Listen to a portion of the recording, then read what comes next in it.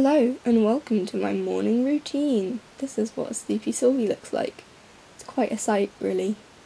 Blah. So I start my day, normally on Twitter, for about three hours. Uh, then I'll make myself some much needed coffee. Uh, fun fact for you, I actually drink instant coffee most of the time, but cafetières look so much nicer.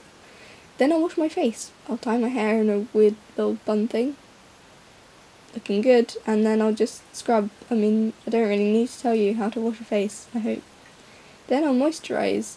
I'm currently using Nivea for dry skin, which my skin is not, but my normal moisturisers run out, so I just use a tiny little bit. Just a tiny bit and rub it in really, really, really well. Then while I leave it to sink in, I will finish making my coffee. I have mine with two sugars and some whole milk. Then I'll find something to do while drinking my coffee. Today it was the Olympics. Then I'll brush my teeth to get rid of that horrible, horrible coffee breath. Ugh. This is where I'm stopping with the narration and starting to talk as I go along because I know, looking back at this footage, I'm not gonna know what I'm doing.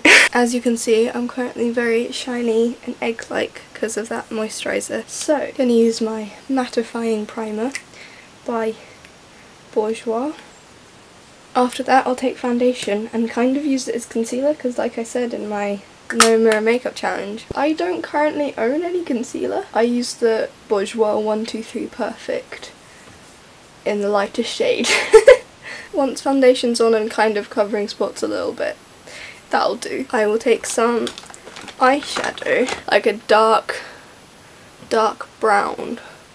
And it's the only colour I've ever found that fits my eyebrows. Because my eyebrows are almost black, but if I use black, it makes them look really drawn on because my hair isn't black. So I have to use like a dark brown, but every brow kit I've seen has just got like a sort of medium brown. If I'm annoyed because I can't find eyebrow powder in my colour, I can't imagine what it's like for people who can't find foundation in their colour or concealer in their colour because shops only stock white foundation.